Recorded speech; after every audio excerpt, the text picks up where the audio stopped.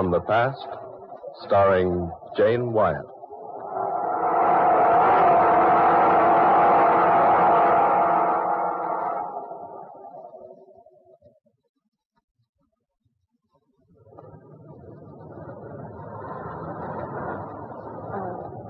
I beg your pardon. Hmm? Oh, yes? Is, is that your newspaper lying there on the park bench? Why, yes, it is. May I look at a moment, please? Why, if you wish, of course. Here, I'll move over. Sit down. Thank you. Well, there you are. I, I hope you don't think me forward. I'll only be a minute. Oh, take as much time as you like. Here, will you roll yourself a cigarette? What? Oh, no, thanks. Sorry, I can't offer you a tailored one. Oh, quite all right, thank you. Out of a job, hmm? Yes, but don't tell me I look that desperate. No, I. Well, I uh, notice you've turned to the help wanted columns. Yes, but somebody seems to have been there ahead of me.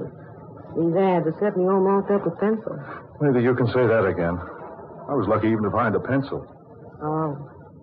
You, too. Yeah.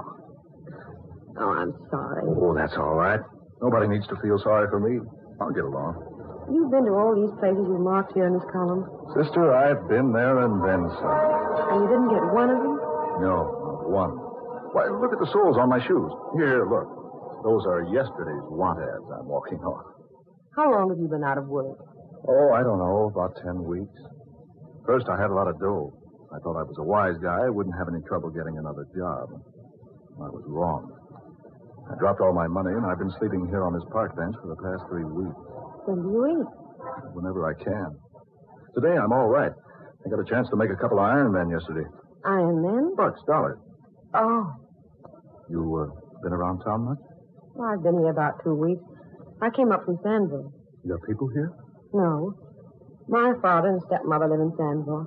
I. Well, my stepmother and I have never been anything more than barely civil to each other. Oh, I get it. So you've come here to get a job. Well, I come here to get a job. How much money you got? Well, I. I really don't think that's anyone's affair. Oh, bother. If you got to be formal about it, my name's Mark Matthew. Mine's Luke John. Oh, oh, I'm serious. My name is Mark Matthew. I wasn't named after the two gentlemen who helped write the Bible. Well, my name's Mary Billings. Well, Miss Billings, I'm mighty pleased to know you. Now that we're thoroughly acquainted and completely good friends, you tell me when you ate last. I'm all right. You look hungry. Oh, yes, I. I guess I am. Join me for a hamburger? With onions? As you like, and a cup of coffee. Is that a date? Mary, I. Well, I'm sorry I can't buy you a 35 cent blue plate. I'd love a hamburger, Mark. Then it's a deal. Okay, Mr. Matthew, it is a deal.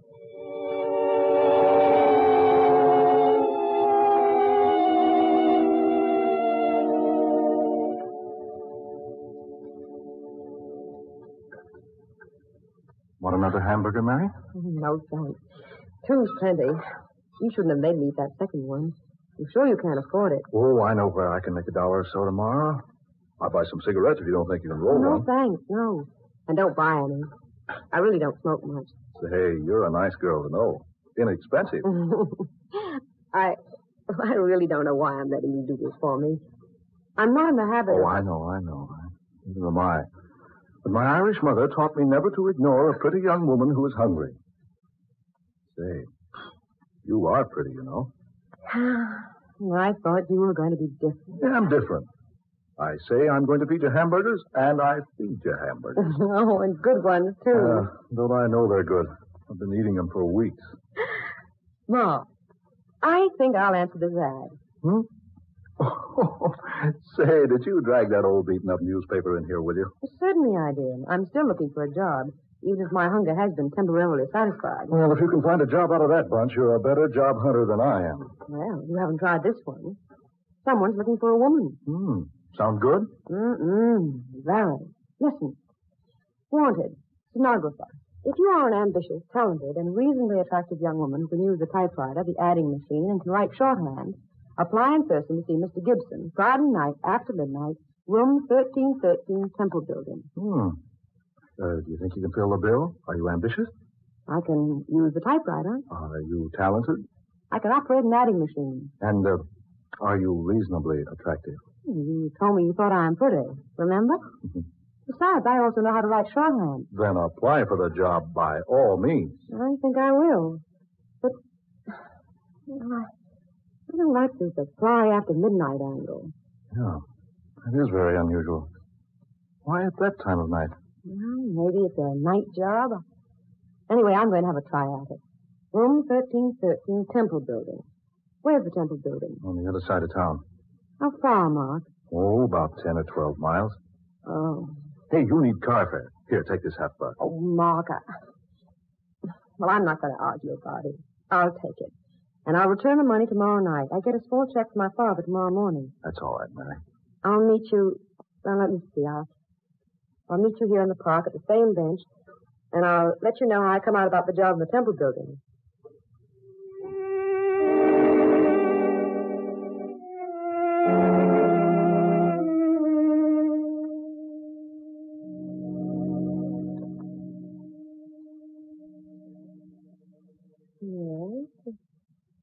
The Temple building, all right. Awfully quiet in here. Dimly lighted. Nobody around. Not even a hall porter. This is a very strange place. Here. Here's the building directory. No, let's see, what is the man's name? Oh, yes, Gibson. Gibson, Gibson, Gibson. No, no Gibson listed here. His company's name is probably here, but don't know that name. Now, how does one get up to the 13th floor? There's an open elevator, but there's no one to operate it. Oh. oh this is the type you operate yourself. Just step in. Press the button marked 13. The door's closed. Then up we go. Oh, my. Say a little prayer that I get this job.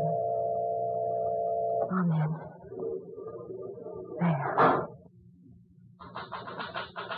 Here we are. My, it, it must be a night job. This, entire floor is one huge office. Row after row of desks with people working at them. And brilliant lights everywhere. This certainly must be a big country. May I help you, miss? Oh, yes, please. I've come in answer to the ad in the newspaper. Ad? Oh, advertisement. Yes. I'm afraid I don't know what you mean. Uh, uh, Mr. Gibson advertised for a young woman to do typing and, and shorthand. Here, I've cut out the ad. This is it. May I see it, please? Thank you. I see. Mr. Gibson failed to tell me he had inserted an advertisement in the Bee. Oh, but this isn't the time. I'm sorry, young lady. Mr. Gibson uses only the Bee. You'll find his office right down this aisle, the first door to your left. Room 1313. Thank you. Just knock on his door and he'll answer you. Yes, thanks. That's strange. These people all seem very modern, and yet, yet dress are quaintly.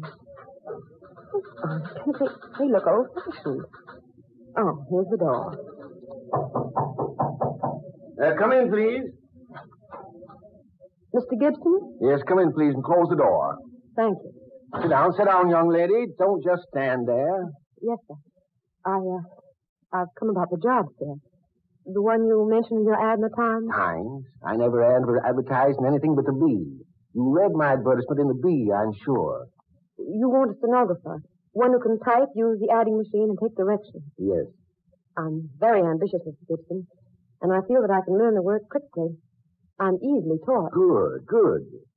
I, uh, your ad asked for a moderately attractive girl. I, I'll try to be neat and tidy, sir. My dear young lady, if your qualifications are as you claim, I feel you'll do very nicely. Here, take this pencil, please, and this pad. There now. Are you ready to take a letter? Yes, sir. Address it, Mr. Hugh Lanning, 15, 1501 Tower Building, City. Dear Mr. Lanning, we have received your order for the office materials listed on your invoice, and I shall personally see to it that the items ordered are assembled, boxed, and shipped to you immediately. We are exceedingly thankful for your order, and we trust you will find our service up to its usual promptness and carefulness. If we may serve you again in the future, please be assured every attention will be given to your desires. Yours very truly, the Acme Office Supply Company by Jonathan Gibson. Got that? Yes, sir. Now, will you type it up, please? Use that machine over there. You'll find paper in the drawer. Yes, sir. Uh, how old are you, young lady? 22. Hmm. Your name? Mary Billings. Uh, where were you born? In Sandville. That's about 35 miles from here. Hmm. Are you ready to start work tonight if you prove satisfactory? Oh, yes. Uh, what salary will you expect? That'll depend upon the work, sir. You must know what's fair. Well, say, uh, say $20 a week? So we say that to begin with. Then if I do more than $20 worth of work, I'll ask for a raise. It's my opinion that employees should be paid according to the amount of work they do. Hmm, true, young lady. Quite true. Uh, what's your home address, please? 2132 Melrose. I'm only there temporarily. Will you please sign this, Mr. Gibson? Eh? What? Sign what? The letter you gave me. It's ready. Finished? Already? young lady, you're quite efficient.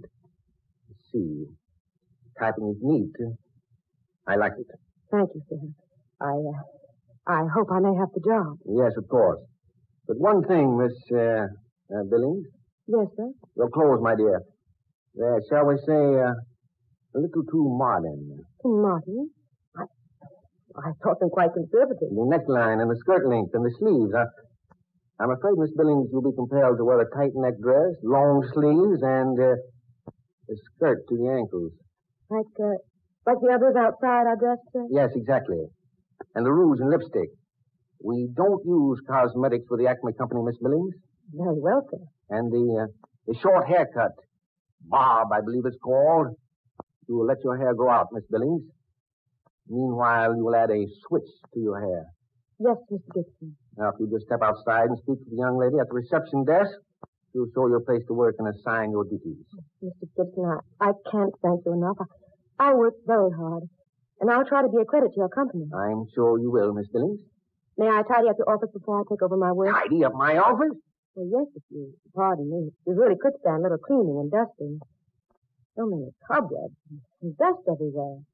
But these windows look a bit like as though they hadn't been washed in years. And your calendar needs changing, Mr. Gibson. My calendar? Yes, look. It says April 16th. This is January 16th. My dear girl, you're mistaken. This is the 16th day of April. And the calendar says 1912. That's right. This is 1912. But Mr. Gibson, this is 1942. And it's January, not April. My dear young lady, are you in earnest? Why, of course I am. This is the 16th of January, 1942. Oh, certainly. You must be jesting. No, Mr. Gibson, I'm not jesting. It is not 1912. It's 1942. I, I can't understand what would lead you to say a thing like that. Here, here, young lady, this newspaper. Today's. Now look at the date on it. April the 16th, 1912. There, you see? Gibson, you say this is today's newspaper? Of course, of course it is. Look at it yourself. Fresh ink. Smell it? Fresh paper. Hmm. Yes, you're right. But, but those headlines. Yes, a, a terrible disaster. The Titanic sank at sea on her maiden voyage. Yes, she hit an iceberg. A sad tragedy. That was 30 years ago. Long before I was born. What was that? I'm afraid I don't hear very well these days. It, it, it wasn't important. Shall I take over my work now? Yes, if you will. We need your services very badly. Business is exceptionally good, and I'll admit it's difficult to find a young woman with as much ability as you have. Thank you, Mr. Gibson. I'll try to live up to your expectations. I feel certain you will, Miss Billings. If there's anything you don't understand, just ask the young lady at the front desk. Yes. Thank you, I shall. Thank you very much, Mr. Gibson.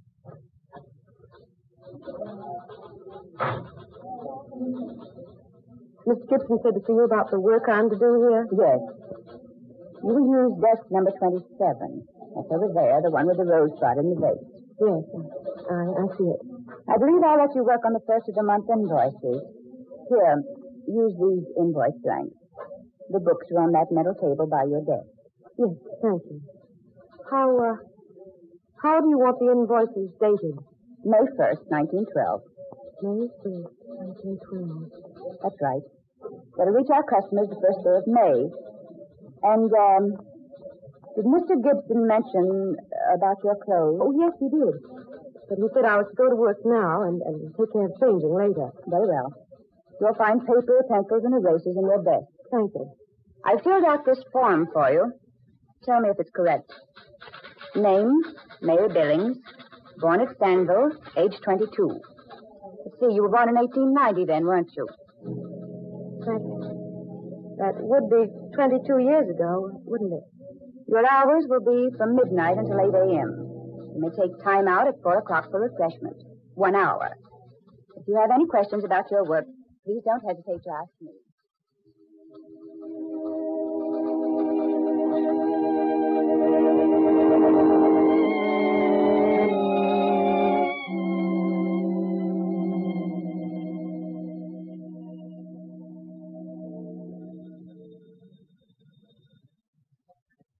Billings speaking. Yes, Mr. Gibson. In your office?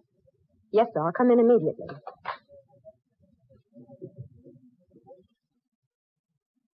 Yes, Mr. Gibson, you sent for me? Yes. Uh, sit down, Miss Billings. the dawn will be here soon, Miss Billings. I, uh, I don't have a watch. And there are no clocks in the office. You noticed? Yes. Ah, yes. The dawn will soon be here. And all too soon. I haven't been here long, Mr. Gibson, but I enjoy the work I've done so far. Yes, uh, Miss Johnson reports you give all, all your attention to your work. She reports that you're extremely efficient. Oh, I'm glad, sir. I've tried to apply myself. Hmm. Yes. You were just as I expected you would be. What was that, Mr. Gibson? I mean, uh, I could tell by the work you did in here for me that uh, you would be quite capable. I hope you like me well enough to allow me to keep the job. I, I want you to go home now, my dear. You've done quite enough work for tonight. But I'd just as soon stay my full time. No, no, no. Won't pay to overwork the first day, you know. Here, Miss Billings, is your check. My check? Yes, you probably need a little money. Why, yes, but. No, no, no. Just cash the check and get what you need with the money. But this check is made out for eighty dollars. Yes. I believe that was the amount, wasn't it? Why, I. I don't understand. Would you mind going now, Miss Billings? The dawn will soon be here, and. Would you mind going now? I. I know if you wish. Thank you, my dear. And may I wish you every happiness, Miss Billings? Every happiness in the world. Good day now.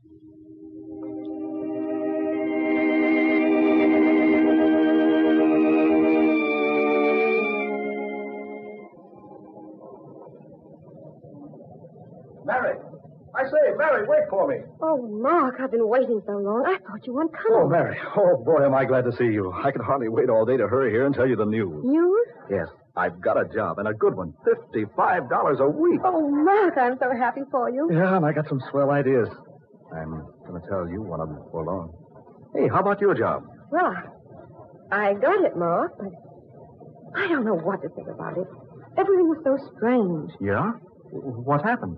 Well, I went to the Temple building, and I took the elevator up to the 13th floor.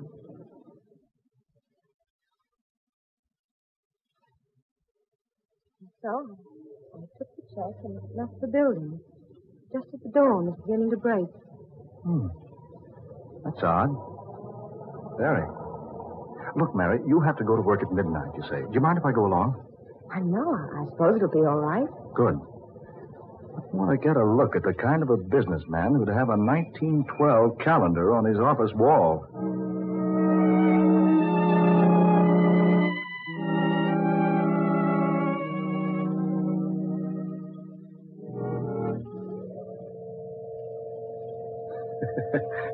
That's some elevator, hmm? You push the button for yourself. I guess they figured cut down overhead. No operator. Here we are. Mark, Hey. Are you sure you pushed the right button? I'm positive. But look at this place. I thought you said this entire floor was an office. Yes, it was. But now, there's nothing but one dim light. Heaps of junk and boxes, barrels, and celsius. But this floor isn't used for anything but storage space. But there were desks here, lots of them, and people working. Oh, but Mary, there couldn't have been. Wait a minute. Mark, lying over there on the floor. Oh, let's see. There's something glittering over here. Hmm. It's a lipstick. Mark, it's my lipstick. What? Yes. I missed it just after I left the building early this morning. I, I must have dropped it here while I was waiting for the elevator. Then, then what you told me did happen. Yes, Mark. I'm very certain of that. Very certain.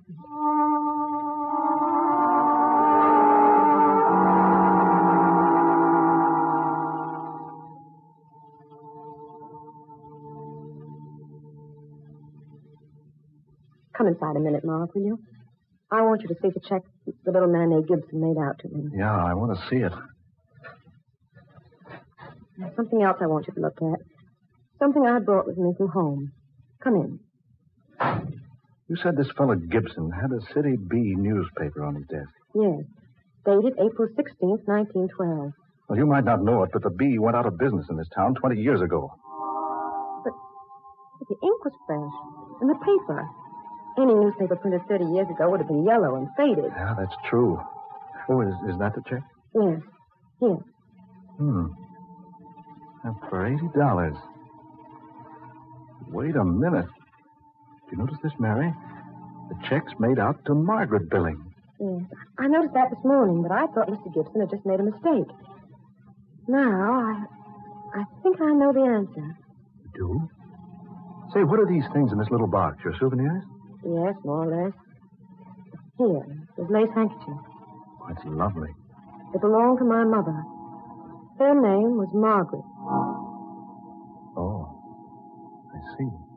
And this is a portion of the diary she kept up to a year after I was born. Let's see, 1912. 10, 11. Here's 1912. What are you looking for, Mary? I'm not sure, Mark. February, March, April. Here, April. April 16th. Here we are. Well, Mary? Mark, listen. Here's what my mother wrote in her diary on April 16th, 1912. Today, the Acme Office Supply Company on the 13th floor of the Temple Building declared bankruptcy. 42 employees were left without work. And with a month's pay due each of us. I went to Mr. Gibson, the owner, and asked for at least a portion of the money he owed me. But he said he was unable to pay a cent. He promised, however, to pay me the $80 he owed me just as soon as possible. This was bad news for me, indeed. Almost as bad as the news the headlines carried in today's paper. Titanic was sunk at sea on her maiden voyage.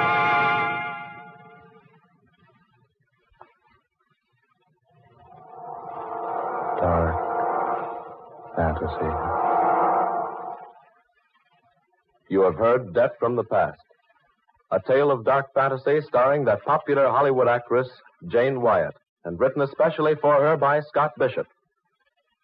We wish to thank Miss Wyatt for her most ex- excellent portrayal tonight of Mary Billings, and we join Jane Wyatt in urging you to do your bit toward the cause nearest to President Roosevelt's heart on his Diamond Jubilee. Give to your local Mile of Dimes committee.